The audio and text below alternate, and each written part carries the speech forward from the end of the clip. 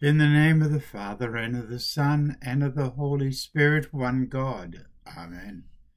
Hello, I'm Father Paul. And this is the good news. Christ is in our midst. Let the words of my mouth and the meditation of my heart be acceptable in your sight, O Lord, my strength and my Redeemer.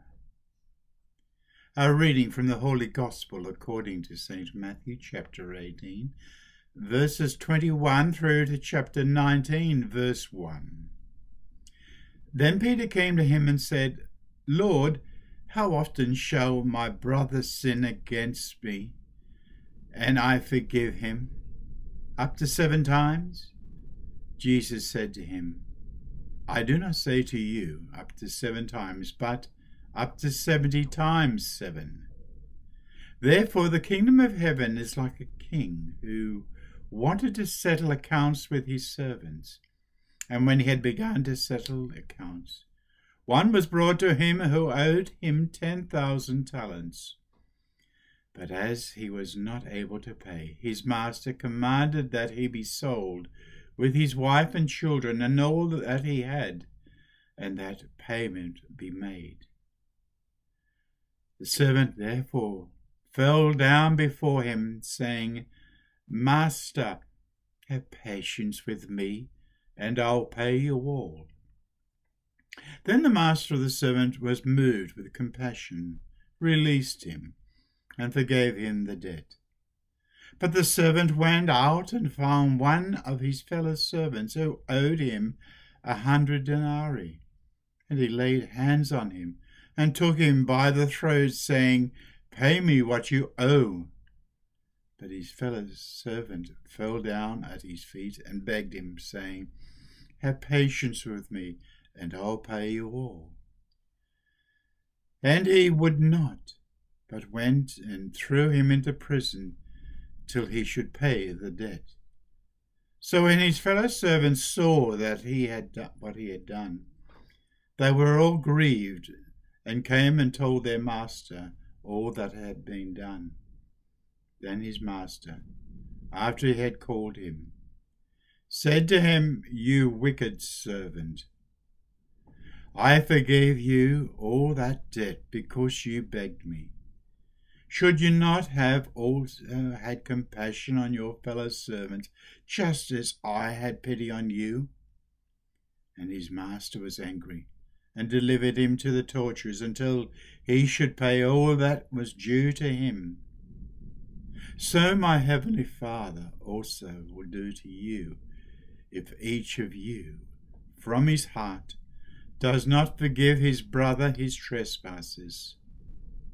Now it came to pass when Jesus had finished these sayings that he departed from Galilee and came to the region of Judea beyond the Jordan. Glory to you, O God. Come, Holy Spirit, fill our hearts with your love.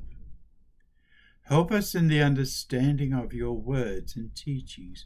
Help us to be true and faithful servants of yours, ever forgiving.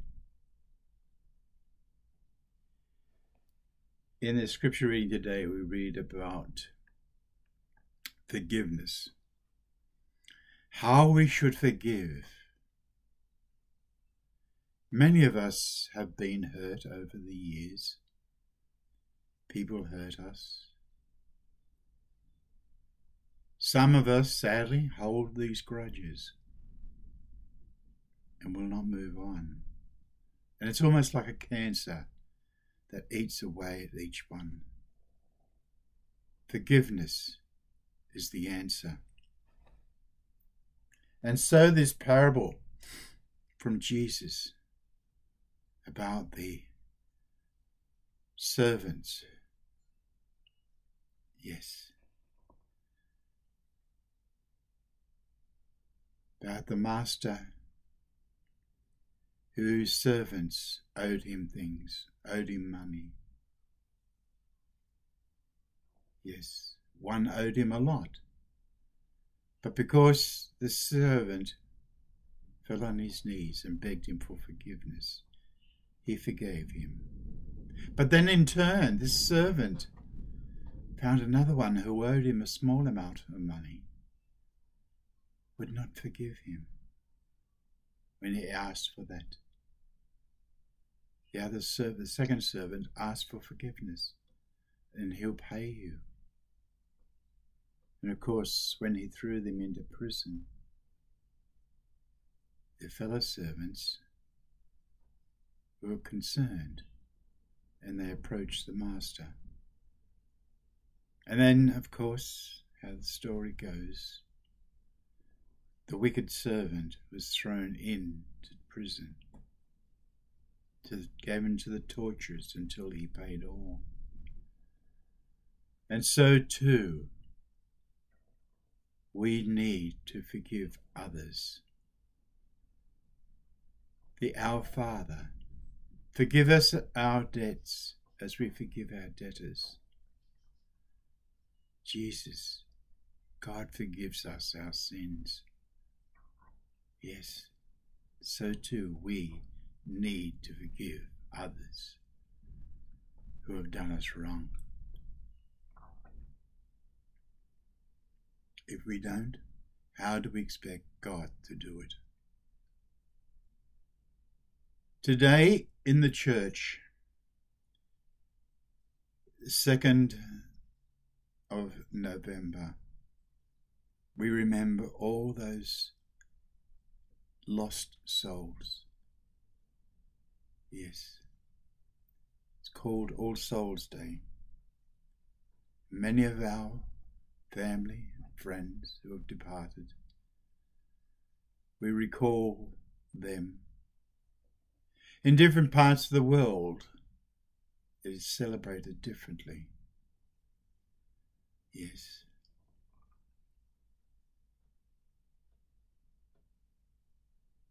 The faithful departed. Faithful. Those signed by the seal of the cross on their forehead. Fellow believers who have departed,